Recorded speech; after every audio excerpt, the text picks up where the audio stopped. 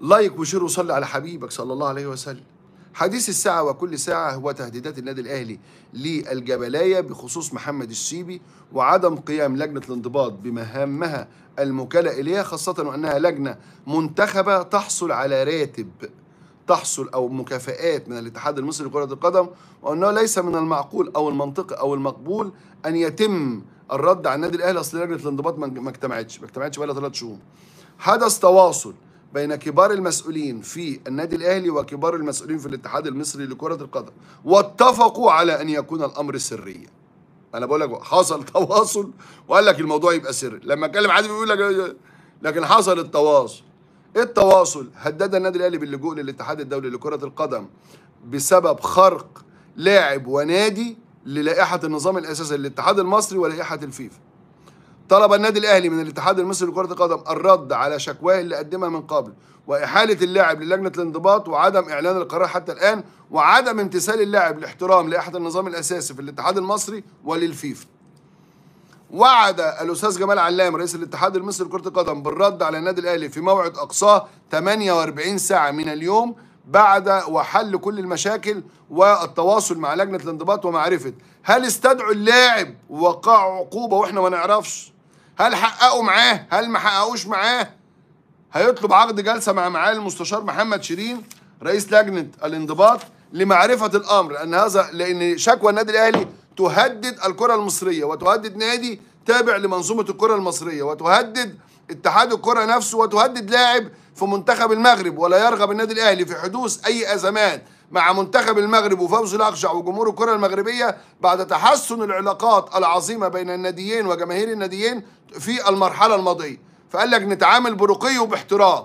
لاعب تم معاقبته من اتحاد الكورة تم آه، آه، آه، معاقبته من النادي الأهلي تم تغليظ العقوبة اعتذر فور نهاية المباراة اعتذر عدة مرات لحد من 3 4 أيام بيعتذر خلال ظهوره مع رامز جلال واعتذر لوالدته.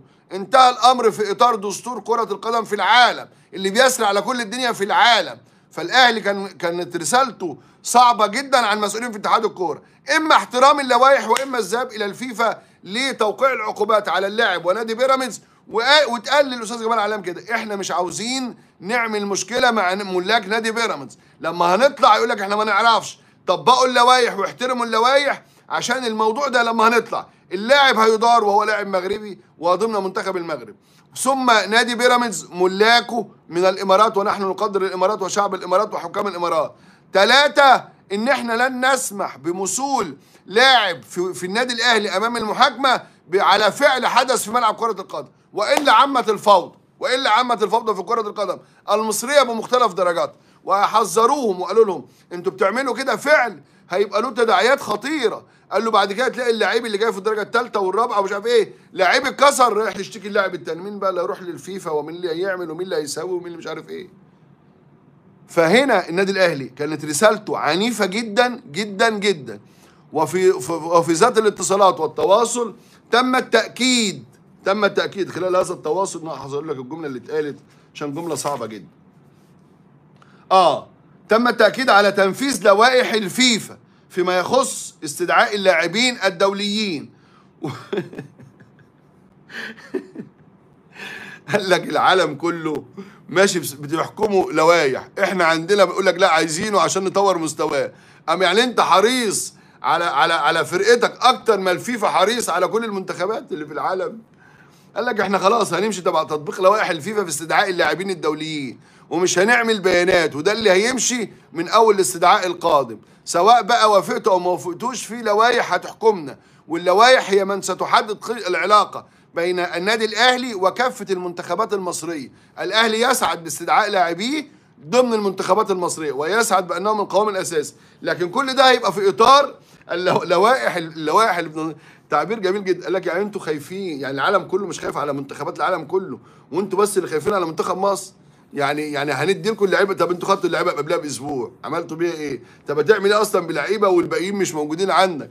كان حديث كوميدي الصراحة يعني. مش عايز أقول لك إن أصبح آه، في مجلس إدارة الاتحاد المصري لكرة القدم حالة من الندم على تعيين حسام وإبراهيم حسن. خلي بالك بس أول محطه عدت وكانت ودية بقى في حالة من الندم. لدى البعض لدى البعض على تعيين حسام وإبراهيم حسن والبعض بيقول لك مش هيكملوا.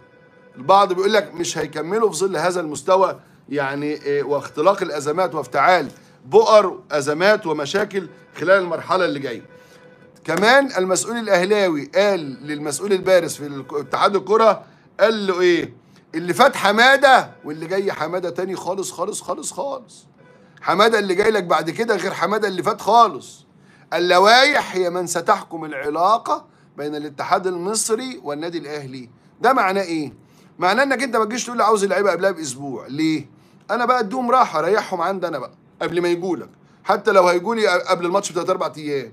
خلي بالك بس من حاجة. أنا بشايف الناس يعني إيه يعني عمالين يقول لك كوكا هو اللي جاب الفوز. مصطفى شوبير هو اللي منع الهزيمة. مش عارف إيه. يا جماعة النادي الأهلي منظومة. النادي الأهلي منظومة. النادي الأهلي دماغ اسمه كولر. إدارة بتوفر سبل الراحة وطيارة خاصة وحكاية ورواية. وسفير بيستقبل المنظومة كلها المسؤولة عن هذا الفوز وليس لاعب أو فرد. لازم الكل ياخد باله من الجزئية دي. كان جوزيه يقول لهم أنتوا مش نجوم. بصوا للسما فيها كام نجمة؟ يبصوا للسما فيها نجوم كتير. يقول لهم أنتوا بقى النجوم اللي في السما.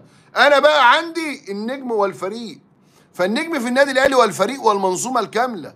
من إدارة وجهاز فني وجهاز طبي ربنا يهديهم ويصلح حالهم الدكتور أحمد جبال لو نعرف آه، كريم نيدفيد بيصاب ليه؟ ونعرف ليه وسام أبو علي آه، آه، بترجع له الإصابة وياسر إبراهيم بترجع له الإصابة وليه الإصابات العضلية ديت ويعملوا جرعات للاعبين ولاعبين عندهم قدرة على الفصل لعيبة عندها عقلية احترافية. كل ده لازم نشيد بيه. ما فيش حاجة اسمها آه، لاعب أو فرد هو سبب الفوز. لا كولر ولا حسام غالي ولا الخطيب ولا منصور ولا شوبير ولا كوكا ولا محمد هاني اللي عمل عرضية خطيرة ولا عمرو الطولية اللي عمل اللي حط الكرة في رجل محمد. لا خالص. منظومة رائعة هي اللي بتنجح. عشان كده الكلام لاتحاد الكره إيه؟ إن خلاص اللي فات حمادة واللي جاي حمادة تاني. اللوائح هي من ستحكمنا. في استدعاء اللاعبين للمنتخب الوطني. هتيجي تقول لي والله ده عشان خاطرنا وكذا كذا؟ مفيش خواطر.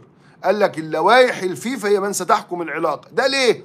تأديبا وتهذيبا لكابتن حسام حسن على عدم احترامه للحوار مع مارسيل كولر. أنا اديتك اللعيبة بدري بأسبوع. طب أنا كنت أقدر أريحهم عندي.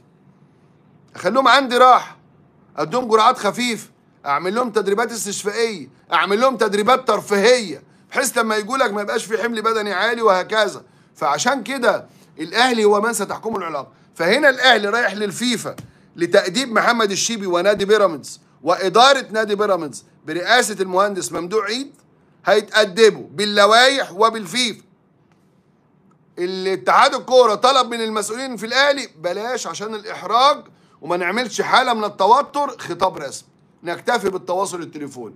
ووعد الأستاذ جمال علام المسؤول الأهلاوي البارز وفقا للمصادر الأهلاوية بأن هو يحل كل المشاكل ويستدعي المستشار محمد شيرين رئيس لجنة الانضباط وسؤاله عما جرى في حالة هذه الشكوى. آه قضاة فوق راسنا مستشارين فوق راسنا ولهم كل الاحترام لكن في عمل يجب التح... ال- النهارده الهجوم على مين؟ على اتحاد الكورة مش على لجنة من لجانه. فلو اللجنة من لجانه هتبقى منعزلة عن الجميع وما يعرفوش حاجة عنها. انت عملت إيه أصلا؟ يعني استدعيت اللاعب حققت معاه خدت عقوبة ما خدتش عقوبة. قول للناس إيه اللي حصل. قول للناس ابعت قرارك للمدير اتحاد الكره يعلنه أو اطلع أنت أعلنه زي ما أعلنته قبل كده في موضوع كهربا مع أحمد موسى. واديته كل التفاصيل على الفطار وكنا في رمضان اللي فات. اشمعنى إحنا في موضوع زي ده الناس لا تتدخل؟ ليه الناس في لجنة الانضباط يعني هادية ورايقة كده وما بتتحركش؟ رغم أن هذا الأمر يمثل كارثة على الاتحاد المصري لكرة القدم إذا ما لجأ النادي الأهلي للفيفا لو لجأ للفيفا هتبقى في أزمات كبيرة جدا لنادي بيراميدز وللمسؤولين في نادي بيراميدز ولمحمد الشيبي لاعب المنتخب المغربي وهناك حرص من الأهلي على عدم الإضرار بملاك بيراميدز أو بالمنتخب المغربي.